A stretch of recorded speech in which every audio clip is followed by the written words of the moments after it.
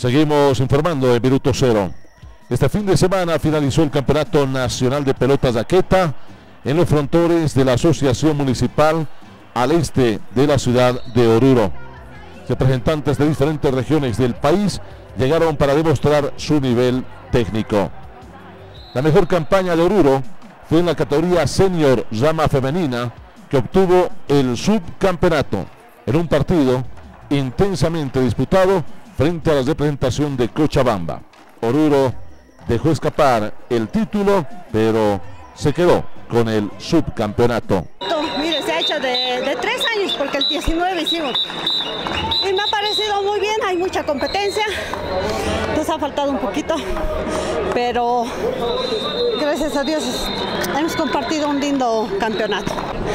Ha estado muy competitivo, hay equipos muy buenos, lamentablemente se nos ha ido en lo último, pero bueno, sacando cara siempre por Oruro y un segundo puesto no está mal. Entiendo que lo importante es disfrutar de algo que les gusta. Sí, compartir con las otras delegaciones, hay amigas y bueno, para la próxima será. Sí, se nos ha ido, son cosas del deporte, ¿no? Y ahora le tocó a Cochabamba salir campeón.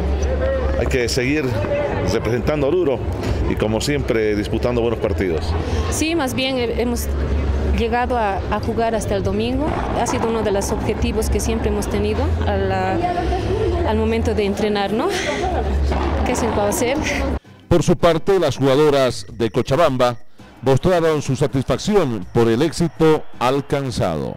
Muy bonito eh, eh, la ciudad de Oruro y estoy muy feliz por salir campeón, con mucho esfuerzo. Así es, el esfuerzo siempre se da en el deporte. Sí, igual, sí, es verdad, y el esfuerzo es mucho.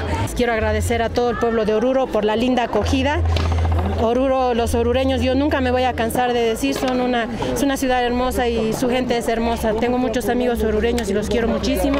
Estoy tan feliz de participar en este nacional en Oruro. Muchas gracias por todo.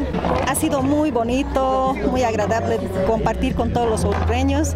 Nos sentimos muy felices por haber salido campeonas y agradecer todo, todo lo más posible. ¿Qué momento fue más difícil? Esta final ha sido muy dura, pero hemos podido lograr y estamos muy contentas. Gracias. A su turno, el presidente de la Asociación Municipal de este deporte mostró su satisfacción por el éxito alcanzado. El campeonato nacional ha sido de un muy alto nivel. Hemos organizado aquí la acción municipal, eh, son otros predios y se ha trabajado mucho para poder dar las mejores comodidades a todos los deportistas que han llegado de los diferentes departamentos de, de Bolivia. A propósito de esta competencia, hay muchas críticas por parte del público. ¿Por qué cobraron 40 bolivianos? No, ese, ese monto eh, más bien es muy accesible aquí en Oruro, ¿no? porque en Sucre, en Cochabamba, sobrepasan el monto de 50 bolivianos. Es un evento nacional donde se ve lo mejor de Bolivia, ¿no? entonces eh, es eh, exclusiva realmente este campeonato. El director del Servicio Departamental del Deporte, Boris Otés, informó que más de 10.000 bolivianos se rogaron en esta cita nacional para cubrir gastos de organización. El Servicio Departamental de Deportes ha apoyado con lo que significa el alojamiento para algunas delegaciones que han estado en la piscina olímpica, en el Palacio de los Deportes. Eh, también se ha apoyado durante los tres días en alimentación, es decir, almuerzo y cena para todas las delegaciones. También se ha hecho la adquisición de las medallas para los ganadores y, y los trofeos también para esta actividad. Eso ha sido el apoyo que se ha brindado y al margen también del escenario deportivo que se ha hecho un pequeño mantenimiento pero no está más pensar en crear algunos aspectos que nos está faltando en el tema de infraestructura.